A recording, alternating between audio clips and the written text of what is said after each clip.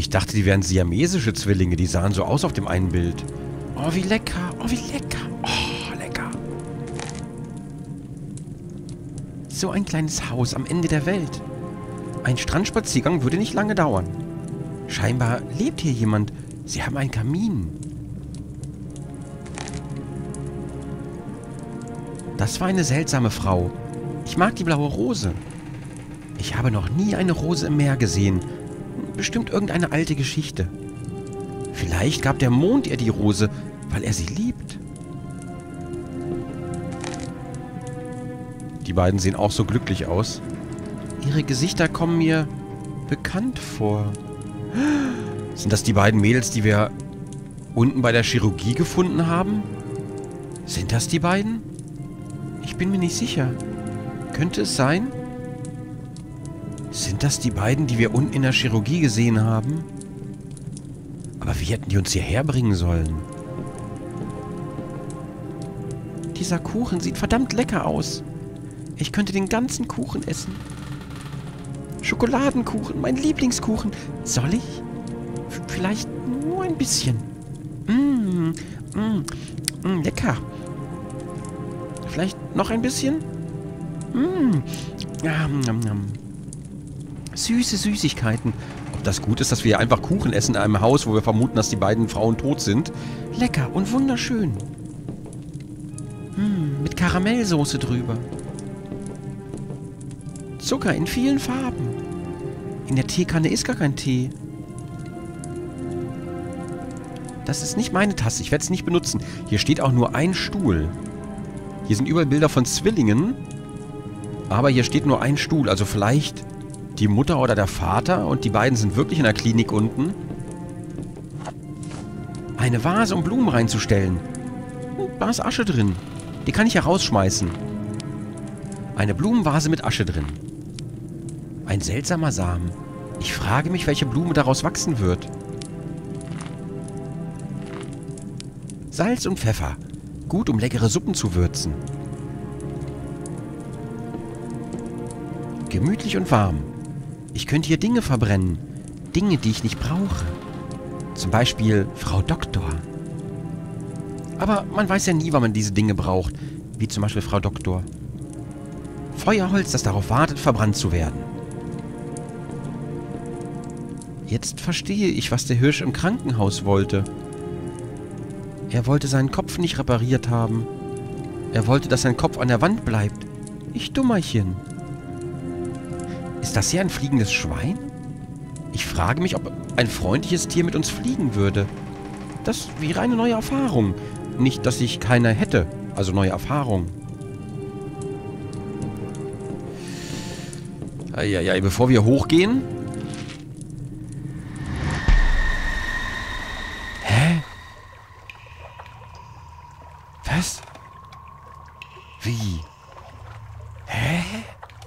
sind ja ganz woanders. Oh, du hast es scheinbar gemütlich da, kleines Baby. Hat deine Mami dich fallen lassen? Sie hat das bestimmt getan, weil sie krank war. Es ist nicht deine Schuld. Sind das hier Abtreibungen im Brunnen? Du wirkst frisch. Lebst du noch? Du bist ein kluges kleines Baby. Du hast deine Plazenta mitgenommen. Plazenta ist wie ein Jetpack aus Blut und Nährstoffen. Freunde, ey, das geht nicht. Hallo, kleines Baby. Was machst du hier? Niemand liebt dich? Aber du bist doch so hübsch. Ich mag dich. Immerhin bist du an der Wand wie ein Bild. So kann dich jeder sehen. Eine geheime Flasche mit einem Geheimnis drin. Ich bin gerade sehr neugierig. Was könnte es sein? Okay. Das ist schräg. Das hat ja nichts mehr mit dem Haus hier zu tun.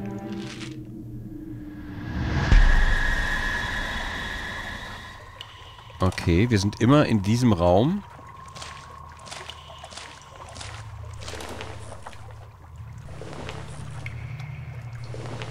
Da ist die Flasche, verstehe. Ich habe die gerade gar nicht gesehen. Hier fehlt wahrscheinlich ein Stein. Ich komme da nicht hin. Ich brauche eine Brücke.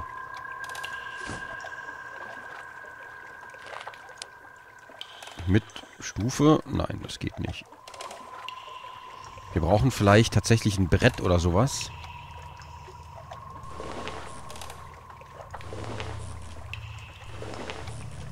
Was passiert, wenn ich... Nummer aus Neugier. Wir sind hier wahrscheinlich dann auch in dem, in dem Loch, oder? Ja. Wenn ich weiter diese Pillen fresse, dann ist doch auch mal irgendwann vorbei mit der Kleinen. Der Metabolismus muss doch schon völlig geschädigt sein.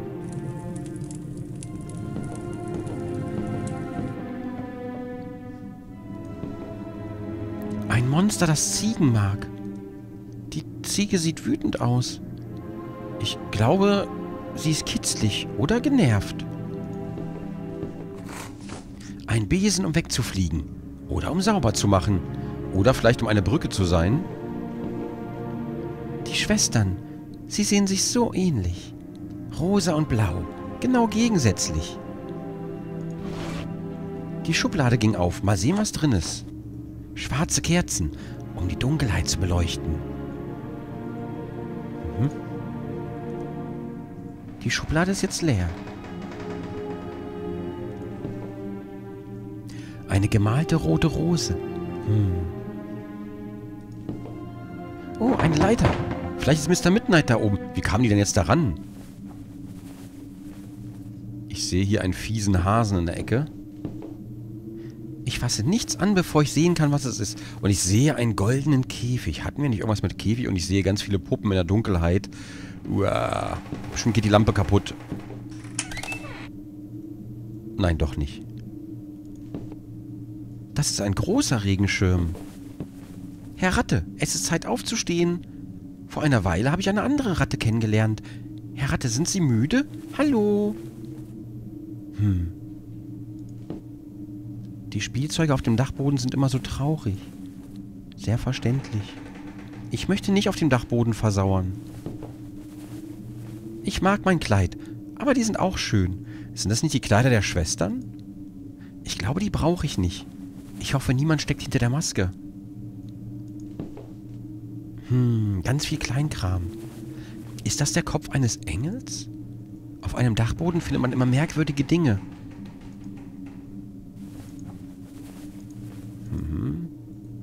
Da ist die Route, die kann man nicht... Und das Bild ist auch gruselig da.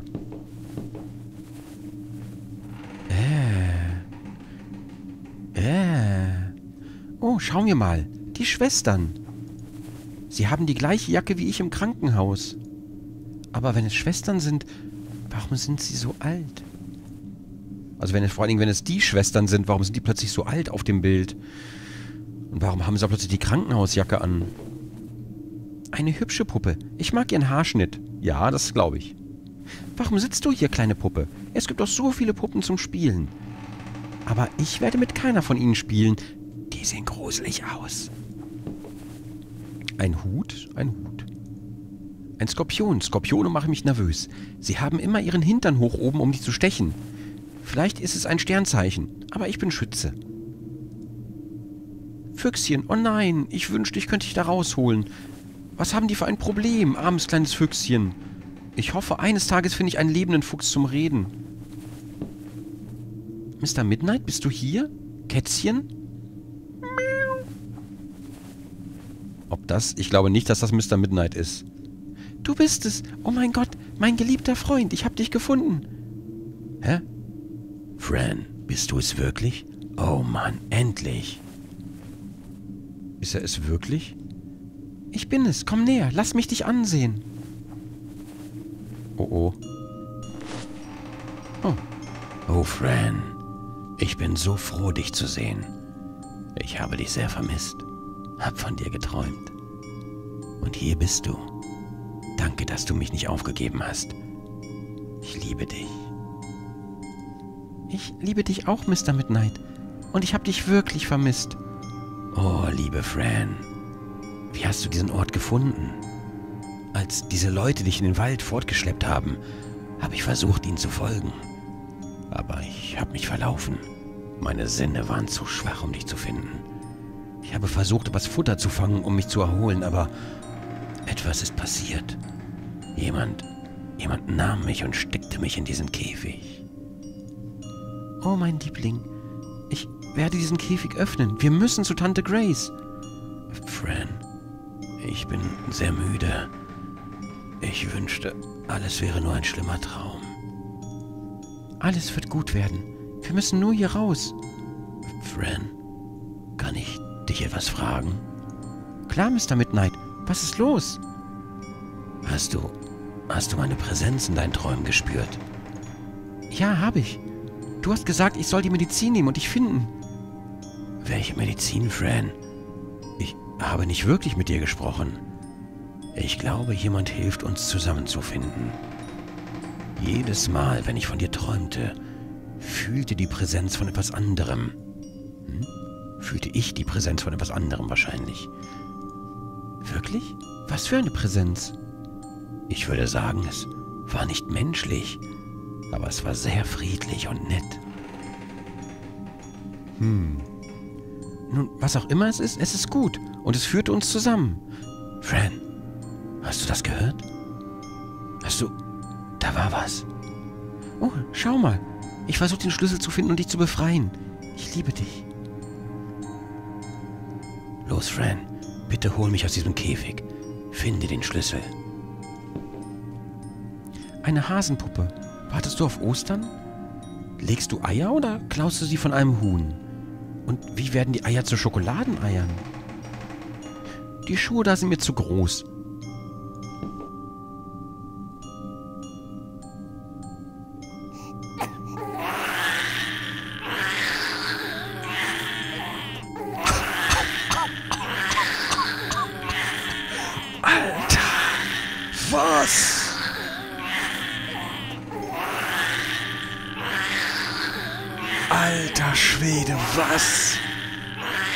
Hallo kleine Babys. Wer hat euch zusammengenäht?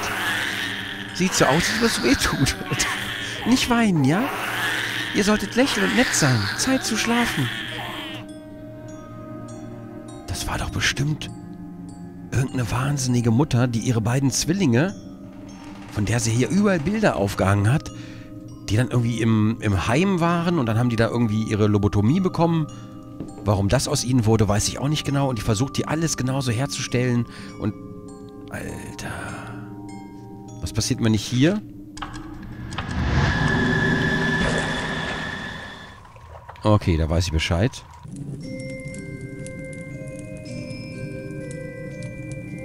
Also keine Mutter. Oh, ihr habt mich erstreckt. Ich dachte, hier lebt niemand. Da bist du ja. Wir haben auf dich gewartet. Wo ist dein Kopf? Mein Kopf? Mein Kopf ist genau da, wo er hingehört. Du, der Schatz aus einer anderen Welt. Wer würde uns schon glauben?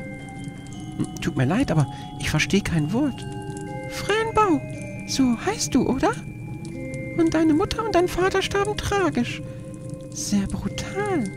Richtig? Und jetzt willst du unbedingt wissen, wer sie getötet hat. Richtig?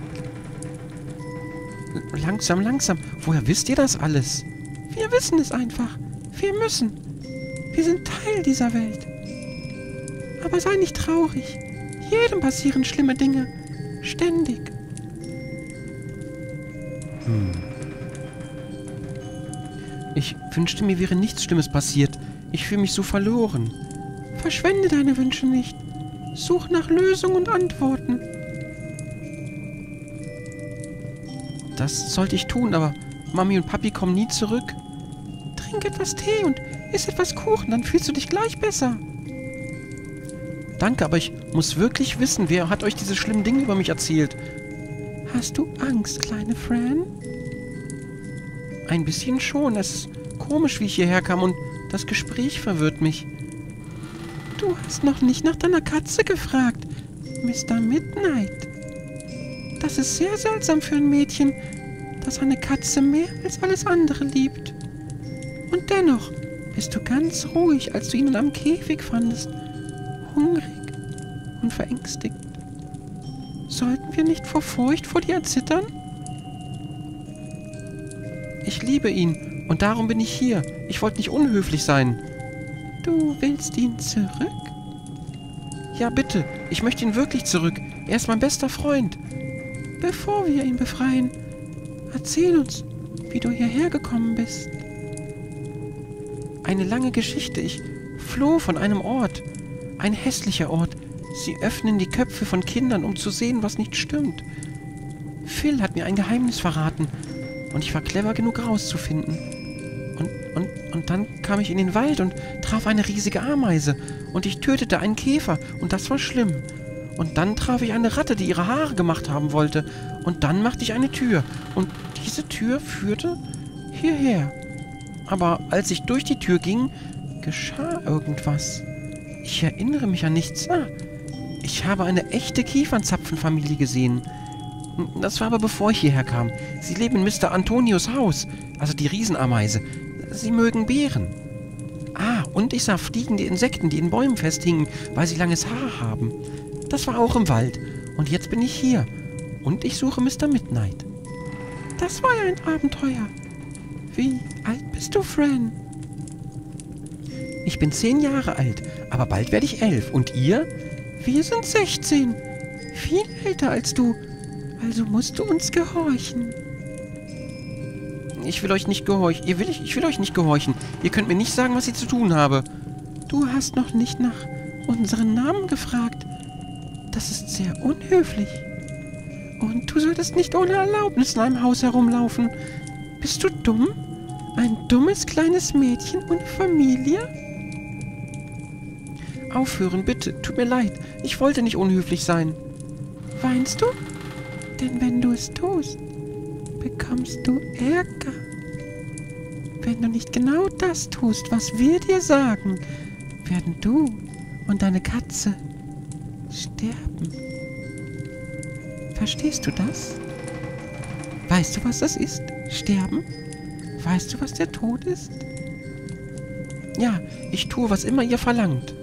Gut, jetzt hör gut zu. Du musst einen kleinen Zaubertrick mit uns machen. Magst du Zauberei? Ja, Annie hat auch gezaubert, aber sie hatte keine Ahnung, wie es wirklich geht. Wie auch immer, diese Zauberei ist sehr stark. Sie ist entsetzlich und gefährlich. Hier ist das Rezept. Sei vorsichtig und genau, sonst können schreckliche Dinge passieren. Was? Den alten verlorenen Jungen beschwören? Warum könnt ihr es nicht selbst tun? Wir können es nicht tun. Es würde uns töten. Weißt du, wir waren nicht immer so. Wir waren einst zwei verschiedene Menschen in verschiedenen Körpern. Ihr meint, ihr wurdet nicht so geboren? Eines Nachts vor langer Zeit erschien etwas vor unseren Augen. Wir hielten es für einen Engel, aber es war keiner. Er entschied, dass wir auf ewig zusammen sein müssten. Er verfluchte uns, so zu sein. Wir haben nie verstanden, warum. Wir haben einen Spruch, um ihn zurückzuholen. Aber das tun wir später, wenn wir nicht mehr zusammen sind. Und wir zeigen ihm, dass er machtlos ist. Und er wird es bereuen. Das klingt schrecklich. Ich tue mein Bestes, euch zu helfen. Wir werden einige Dinge sammeln, die du für das Ritual brauchst. In der Zwischenzeit kannst du mit einer Katze sprechen gehen. Aber wir lassen ihn noch nicht frei. Wag es nicht, den Käfig zu öffnen. Wenn du uns hilfst, helfen wir ihm. Danke. Ich gehe und spreche mit ihm. Und Fran? Siehst du diesen Schlüssel? Kannst du dir vorstellen, was man damit öffnet? Kannst du? Du dummes, dummes Mädchen.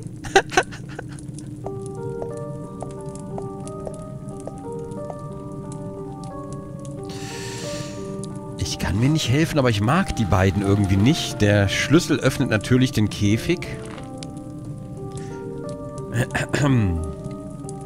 Den alten verlorenen Jungen beschwören. Verloren in der Dunkelheit. Verloren in Tränen. Dein Körper wird zur Lüge durch die Hand des einen Engels, der dir Leid zufügen will. Man braucht das Herz eines Frosches, den Kopf einer jungen Jungfrau, Haar und Blut einer schwarzen Katze, ein Pentagramm aus Asche, die verkohlte Leiche eines Fuchses. All dies muss zusammen in einem Topf oder Kessel mit reichlich Wasser gekocht werden. Wenn man den Trank dann zu sich nimmt, wiederholt man folgende Worte. Manambu kaksnai, o manai, ir ponte ir ibure, eschibure mon, kaksnai mabuka, ibore fivern, fivern. Oh, was soll ich nur tun? Ich weigere mich, das zu tun. Das kann nicht gut sein. Vielleicht kann ich was anderes tun.